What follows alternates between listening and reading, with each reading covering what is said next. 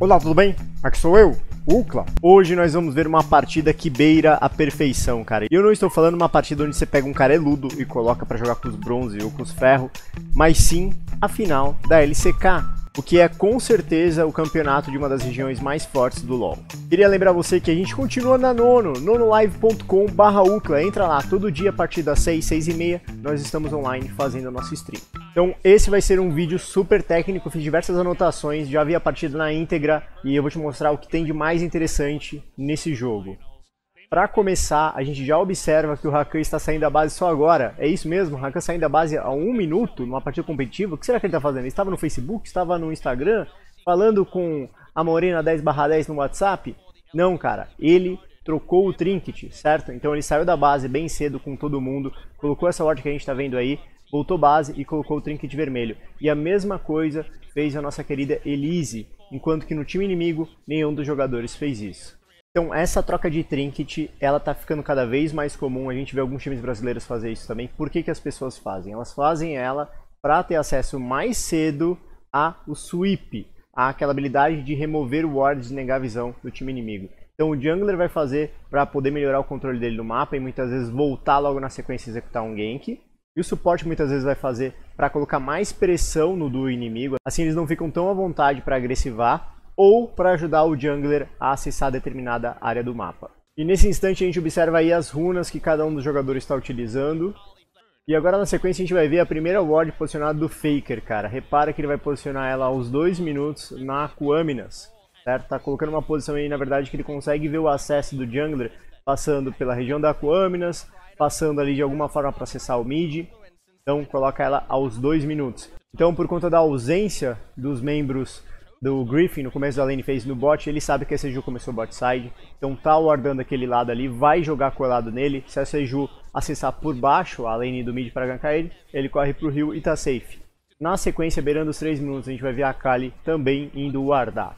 A Kali que tá sendo jogada no top nessa partida. O que ela faz é encaixa o Shove em direção à lane e na sequência ward os Krugs. Uma das razões para ela fazer isso aí é para ela controlar o segundo respawn dos Krugs. Então, assim o Clid, que está jogando de Elise, pode planejar a rota dele se ele quiser em função disso, para pegar uma kill no Seju, ou simplesmente roubar esse acampamento que é tão valioso hoje em dia na meta que a gente tem atualmente na jungle.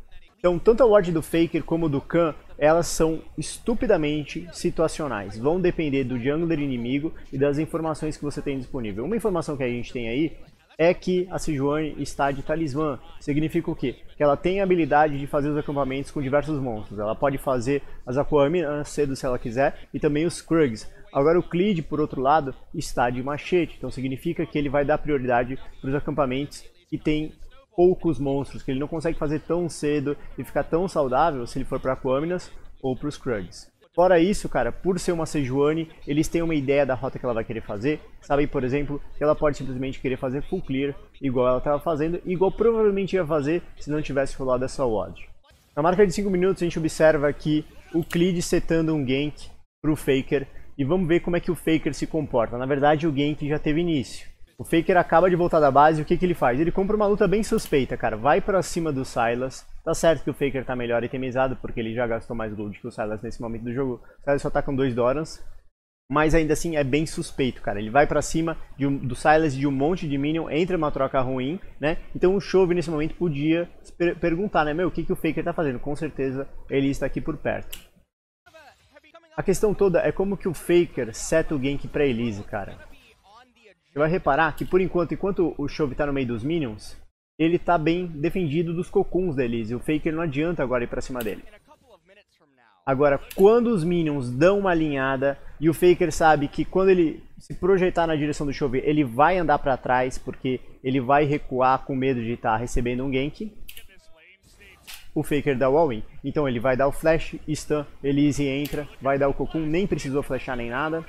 O Chove infelizmente gasta o flash, e acabar tomando aí First Blood.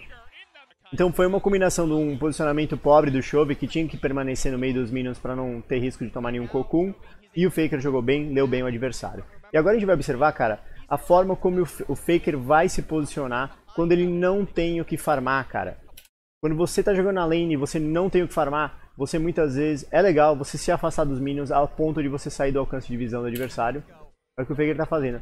tá meio que entrando na fog, então nessas horas aí o Chove não sabe para onde ele vai, se o Faker tá indo base, se ele tá dando roaming, o que ele tá fazendo.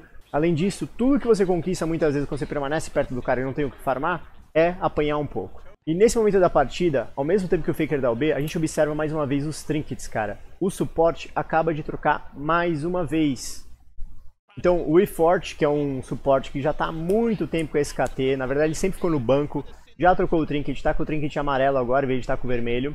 E por que, que ele fez isso, cara? Por conta, em grande parte, do dragão infernal. Então a grande razão para você trocar de trinket, cara, é que você quer priorizar negar a visão ou ganhar visão quando você está usando o trinket amarelo, né? Negar visão com o vermelho e ganhar visão com o amarelinho. Então, agora, a partir dos 6h30, do 6h30 para frente, o SKT vai ficar com o controle da visão do Drake até eles fazerem ele. Então, nesse momento, quem trocou o trinket aí foi o eFort, mas daqui a pouco quem vai voltar para o trinket amarelo vai ser Elise. Enquanto nesse tempo todo, basicamente, o Griffin ficou com os mesmos trinkets desde o começo da partida. Então, bom, será que é um hack, é um cheat dos caras? Os caras fazem isso porque dá uma puta de uma vantagem? Não, cara. Como é que funciona atualmente o sistema de trinkets, da troca de trinkets? Nesse momento aí, observa, Elise tá com o vermelho disponível, ela tá dando B, e ela vai trocar o trinket. Vamos ver como é que vai vir o trinket amarelo para ela. Trocou? Ali, ó, duas cargas, pode colocar duas wards. Então, quando você troca de trinket, hoje em dia, desde o 8.8, na verdade, lá da oitava temporada, a Riot fez com que, em vez de você ter uma troca, ter um cooldown flat quando você troca de trinket, acontecia isso, independente se estava disponível ou não, trocou de trinket tinha um cooldown de 120 segundos. Agora, o cooldown do próximo trinket vai ser, um, vai ser o mesmo cooldown que estava anteriormente, em termos percentuais, para o novo trinket. Então, se o trinket anterior estava disponível, o próximo vai estar disponível. Se o trinket anterior estava em 50%, o próximo vai estar em 50% também. Então, conforme a ward do eFort do suporte expirava, Clid posicionou uma ali bem na bunda do Drake e está colocando uma agora ali na entrada do rio, para quem vem do headside ali saindo do blue. Então, mais uma vez o Chove recebendo um gank de exatamente a mesma forma, cara. Não é déjà vu, não é replay. E olha só o posicionamento dele. Mais uma vez, posicionamento errado da mesma forma, cara. Repara como nesse momento ele tá próximo dos minions e não precisava, cara. Esses minions, esse minion que ele quer pegar agora, né? Ele basicamente podia esperar um pouquinho para trás e ele pegava da mesma forma, só que sem se expor.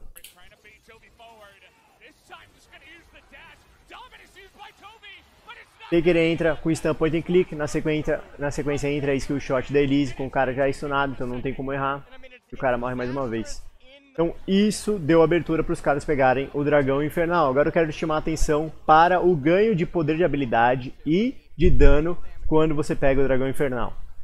Então vamos pegar agora, vamos reparar no poder de habilidade e no dano físico da Elise, está com 70 de AD e 97 de poder de habilidade. E vamos ver o quanto que vai ganhar por conta do buff do Drake. Basicamente ganhou 10 de poder de habilidade e 6 de AD.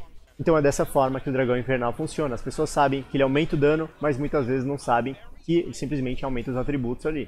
Então, por enquanto, 13 minutos, só duas mortes e um Dragão Infernal. E agora a gente está summonando o Arauto Topside. E vamos ver como é que os membros da SKT vão se comportar no uso desse Arauto, cara. Repara na posição da Elise e da Kali, cara. Tá vendo como elas se aproximaram ali? Óbvio que entraram ali pra dar um chunk na vida do Mordecai, tirar um bocado de vida, mas ao mesmo tempo elas se aproximaram para quê? Para ganhar o gold das barricadas. Se você sumou no Arauto e você vai para longe dele, o gold da ba das barricadas não vão para você. E aqui elas estão setando um dive para cima do Kaiser. É um dive super delicado porque ele, obviamente, vai mandar alguém ali pro reino dele, o reino das sombras. Então o Kaiser dá o flash no Cocoon, encaixa o Reino das Sombras, mas até ele já perdeu vida demais, cara. E não vai ter oportunidade de matar eles. Ele até conseguiria se não fosse o rapel. Uma coisa interessante nessa partida também é a forma como o Forte, que é o suporte, resolveu entrar no jogo. Ele está usando Flash Curar de Rakan, que não é nem um pouco padrão, certo? Normalmente o, o Rakan está de Flash Ignite. E outra coisa, ele está fazendo esse item de suporte, o item amarelinho. Por que, que ele está fazendo isso aí? Porque você consegue coletar o gold bem mais rápido, cara. Você consegue fechar sua quest bem mais rápido do que se você tiver com o azul. E no matchup que você tem o TK ali, você tem uma Zaya, muitas vezes o kill pressure vai ser bem baixo na lane phase, às vezes até quase não existente. Então, essa é uma das razões também pela qual ele não foi de Ignite e optou por ir de curar. Velho, agora presta atenção. 23 minutos de jogo, Olha o farm da Zaya. 23 minutos de jogo, cara. 292, moleque. Da onde que esse cara tirou tanto mim pra farmar? Eu não sei. Então, estamos aí, já o Baron já nasceu, né, cara? Por que o SKT não tá fazendo Baron ainda, cara? A razão é simples. Um nome, Mordekaiser. Por quê? Se eles iniciam o Drake, se eles iniciam o Baron, começam a fazer e na hora do Smite, o Mordekaiser entra no pitch e manda a Elise pro Reino das Sombras, o que acontece? Seju entra e dá-lhe o Smite. Então eles não podem fazer o Baron por conta do Kaiser. Mais um ponto super técnico dessa partida. Repara no Ted esses próximos segundos. Olha o que ele está fazendo. Tá tancando a torre e descendo a porrada, certo? Mas não é simplesmente algo aleatório, cara. Como que funciona a torre? A torre tem diversos mecanismos de defesa, mas o que a gente vai falar agora é o mecanismo contra backdoor. Reduz o dano que ela toma. Quando não tem minion próximo, minion inimigo à torre, então, por exemplo, tinha que ter minion da SKT ali próximo, a torre toma muito menos dano, tá? Então não vale a pena você ficar tancando a torre e batendo nela. Agora, quando uma wave avança em direção a ela, esse mecanismo para de existir. Um pouco além, tá vendo onde está essa ward? Um pouco para frente dessa ward, se o minion chega ali, o mecanismo de defesa da torre, ele já é desabilitado contra backdoor. Então você pode bater e dar bastante dano. O que o Ted fez ali foi encaixar dois ou três hits antes do mecanismo expirar, porque depois que os minions estavam próximos morrem, ele consegue sim, você como a The Carry também consegue encaixar dois ou três hits e dar o dano na íntegra. E agora que você sabe como funciona, você também pode aproveitar. Agora, falando em causar dano, né? A gente viu que o Ted deu uma porrada de dano ali e tá dando muito dano nesse jogo. Imagina quem tá dando muito jogo nessa partida. Não é a Seju. Moleque, se liga no dano da Seju. 32 minutos de jogo e ela deu 156 de dano nos campeões, cara. Obviamente não teve nenhum gank que ela executou, né? Porque senão teria dado muito mais dano que isso, só deu 156. E o Ted, por outro lado, o AD Carry da SKT, deu 20 mil.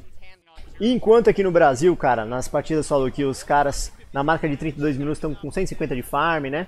Os caras lá na SKT, na Coreia, estão com quase 500, 450. E aqui a gente vai ver a primeira e última TF desse jogo. Só rola essa TF, irmão.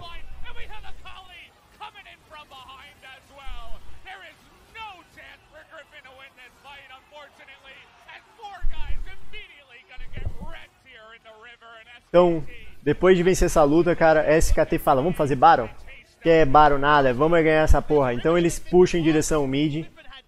E GG, cara, vamos puxar até o Nexus aí, cara. Ó, ó os Death Timers aí. O Viper, que é o AD Carry, tem quase 50 segundos morto ainda. Os caras têm muito dano. Vão tancar essa torre. Tem Demolir, acho que tá no Rakan Demolir. Vão levar essa torre também. Vão levar Inibidor. Vão levar o Chove aí que vai dar mole. E GG, cara, levaram o título do LCK mais uma vez SKT tá muito, muito forte, cara. Esse Mundial vai ser insano. Eu não sei se alguém vai conseguir ganhar desse time aí, cara, que tá muito forte mesmo. Então vamos rever essa luta com calma, prestando atenção nos jogadores, para saber como é que eles fizeram para fazer uma luta tão limpa, um jogo tão limpo, termina 10 0. Primeira coisa, o Ted tomou o ult da Seju, o Ted está de cimitarra nesse momento do jogo. Repara também que o Rakan está de QSS, a Elise, cara, tá itemizada com Banshee e ela tem cronômetro, assim como o Renekton tem cronômetro e a Akali tem os Zonias. Então o time tá estupidamente bem protegido. Nesse momento do jogo, a Akali tá base, acabou de dar TP na, nas costas ali do time inimigo, deu um TP até que meio longe, e o Silas tá lá no bot, ó, cara, tá entrando com o TP só depois, então o Silas vai entrar, a festa já vai ter terminado.